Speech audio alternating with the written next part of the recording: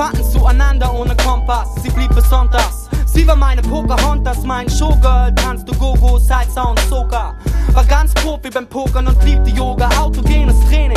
Sie kannte ihre erogenen Zonen, die Figur betonten Hosen und Konversation. Ganz von vorn, sie sah mich performen. Wir trafen uns, sprachen uns auf den Dancefloor. Da war kein Gedanke an die üblichen Pornos. Sie liebte Schokolade,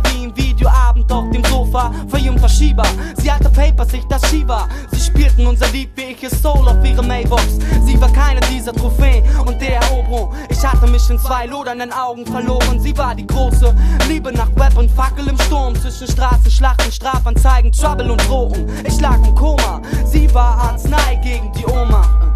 Diese Prinzessin der Großstadt, yeah.